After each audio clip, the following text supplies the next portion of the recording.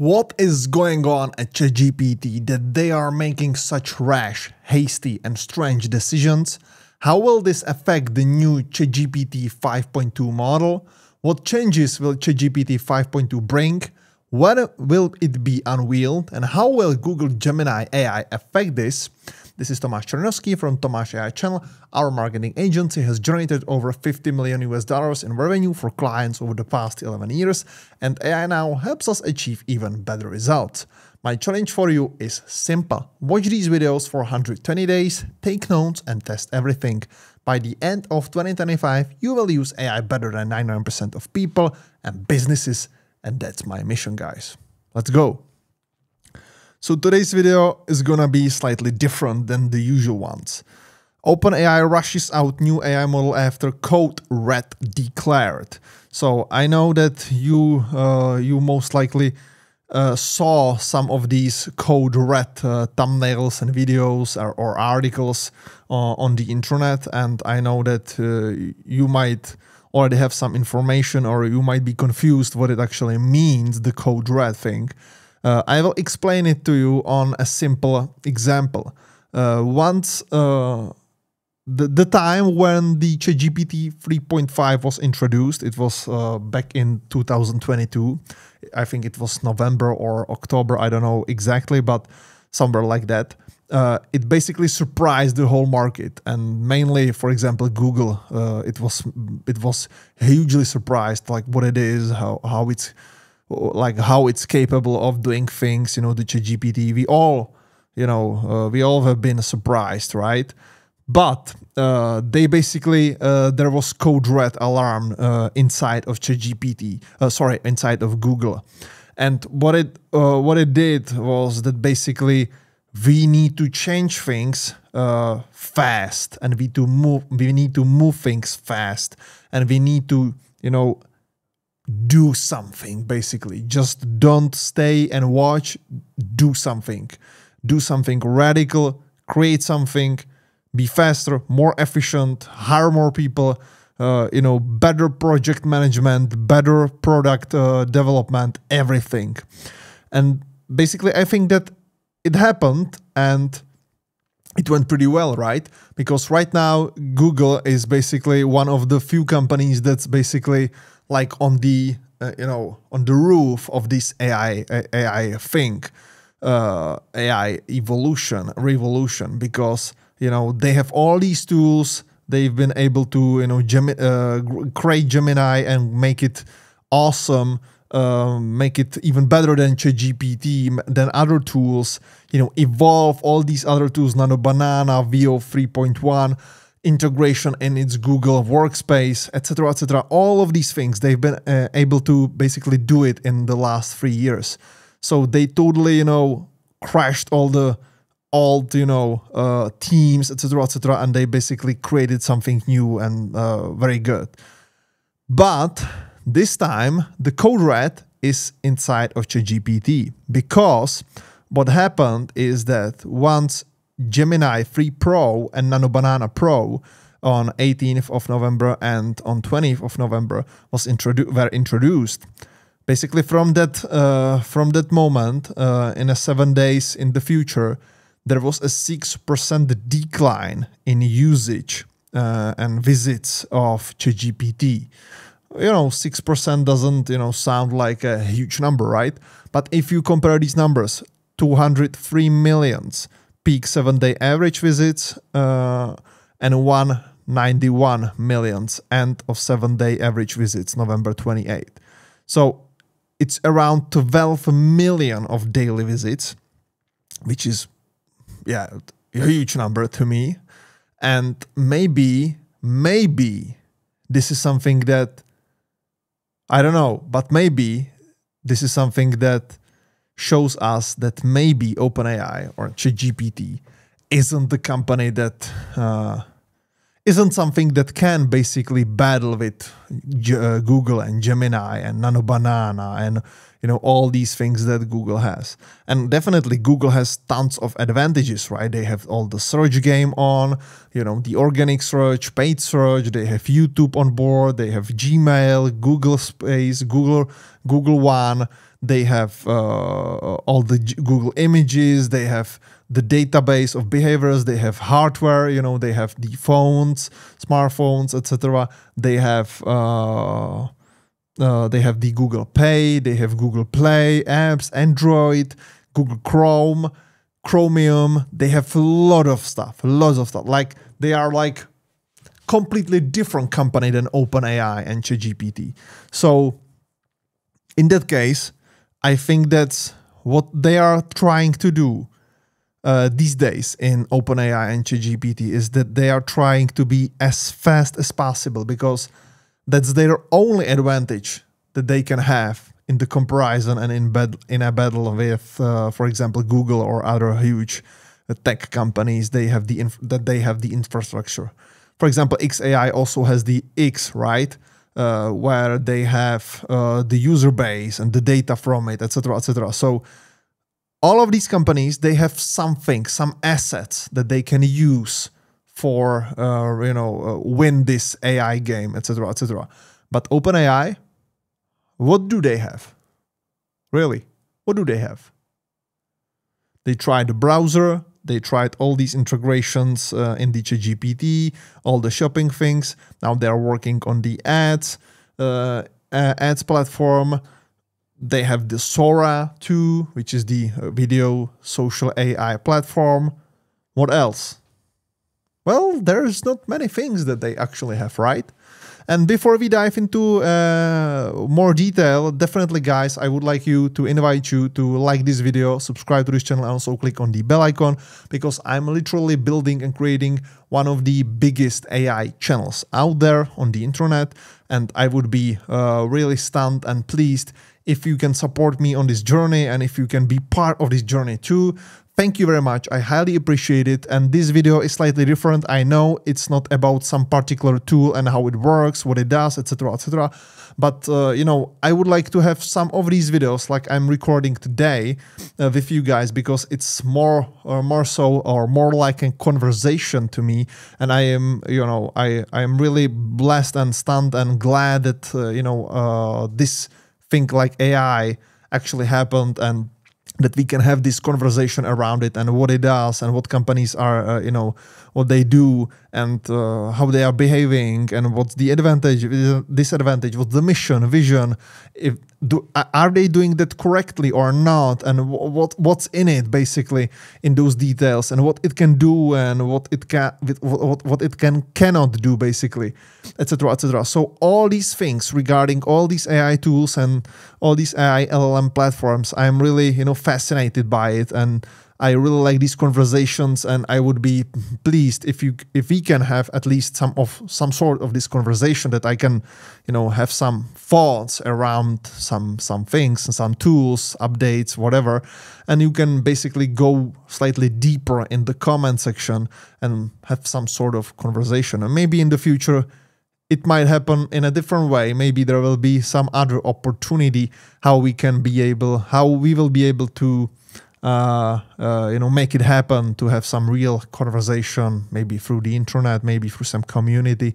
I don't know, maybe. Uh, zero promises here, but you know, maybe maybe something will happen in the future uh, from my standpoint. So I really appreciate it one more time. Thank you guys and gals. Thank you very much. Uh, and back to the video. So that's that's the actual position where the GPT and OpenAI is, and I don't think it's a it's a good position for them. You know, I think that you know it's not the best position for them actually.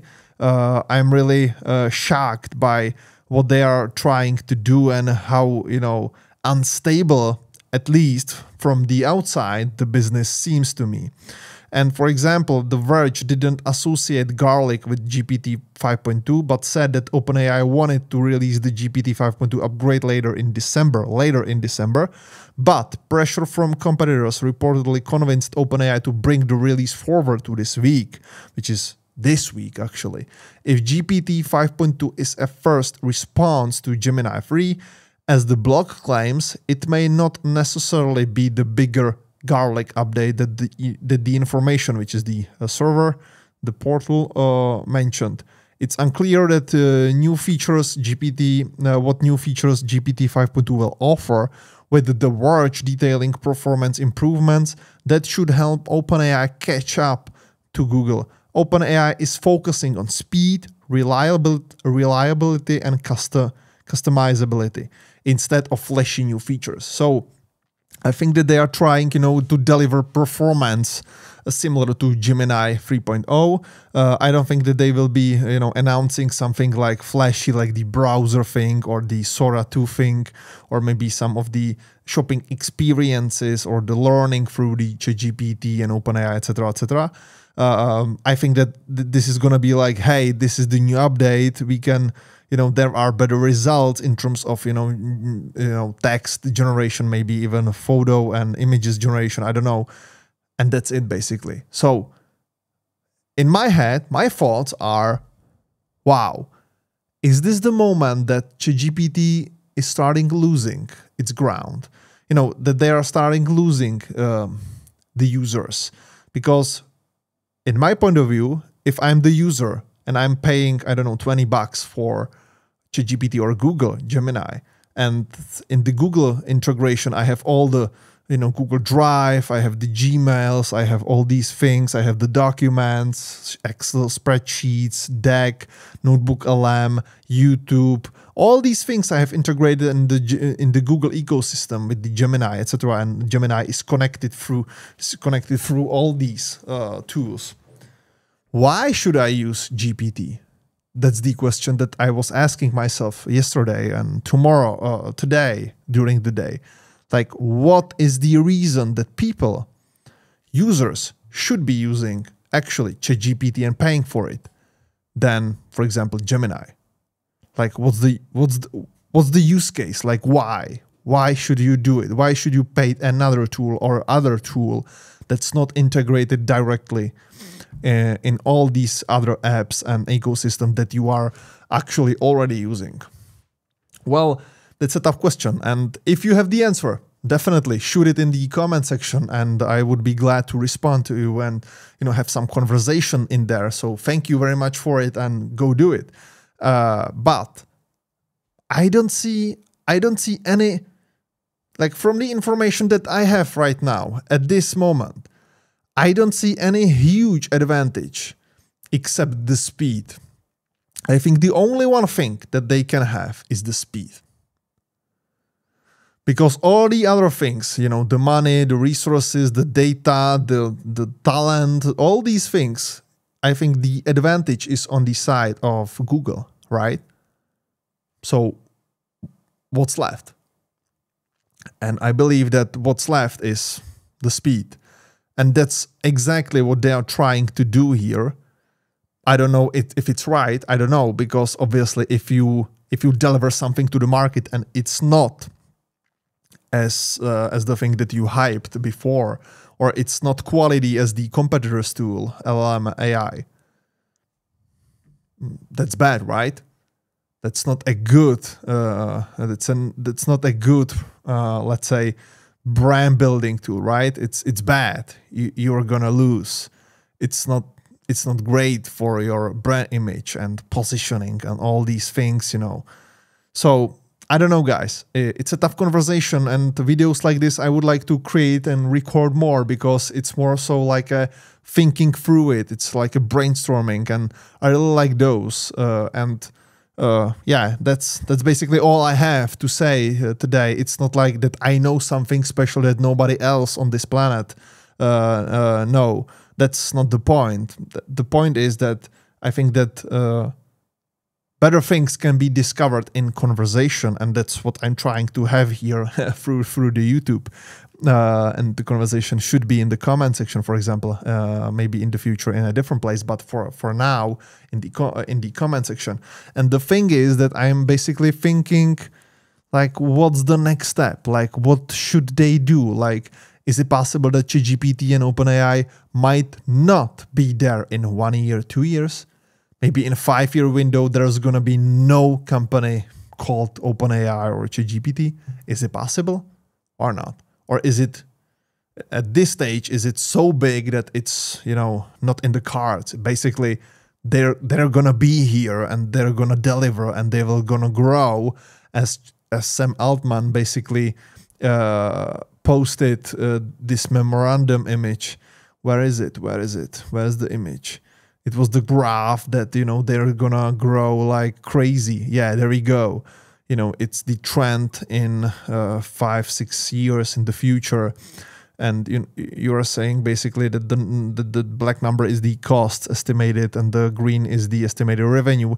And as you can see the revenue is basically climbing up climbing up and it's basically catching up the estimated cost. But uh, not even in 2030 they should be uh, break even. So i don't know guys what's the future what the future holds but you know the ai is gonna be here it's gonna be it's the future that's that's for sure is there a bubble? Yes, for sure. In everything today, there is a bubble. Uh, you know that's that's how it is basically. But is there a fundament that it's actually creating something and the value is there for sure, hundred percent. The value is there. Automations, uh, AI assistants, AI agents, creation of text, uh, uh, creation of images, videos, voice, sound, everything is there. Conversations, you know, all these things are there. So for sure there are some fundament there are some fundament there but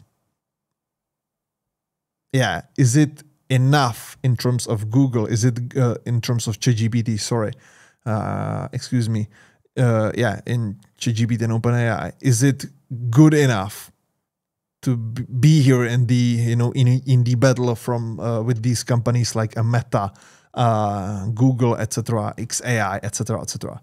I don't know, guys. I don't know, guys, but this is something that you know they need to tackle on and they need to deliver. Uh, they need to deliver this week, and also in the upcoming months and years, because there's no way that you can have uh, this big company uh, or even bigger company in this day and age if there is a, a huge competition uh, like Google, Meta, uh, maybe in the future even Apple, Microsoft, and other huge Amazon uh, and other great companies. So I don't know, guys. The, that's it for today's video. I I'm really glad that you watched till this moment. Please leave a comment. What's your opinion on it if you have one? Uh, and let's have some conversation there. I'm really glad uh, that we can have this type of conversations.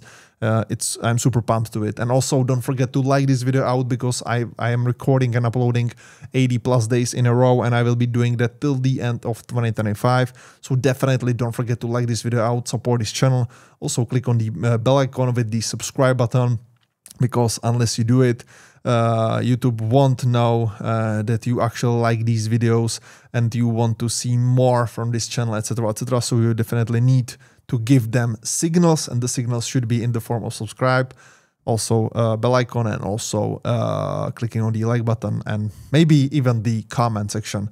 Also, don't forget to watch this video uh, and check this video out. It, it's a really good one. Uh, it's an overview of top uh, AI news and rumors uh, in the last six, seven days. So definitely go there. And obviously there will be a ChatGPT 2 thing, but many more, many more other news. So definitely go there. And I will see you guys tomorrow with the next one. Cheers.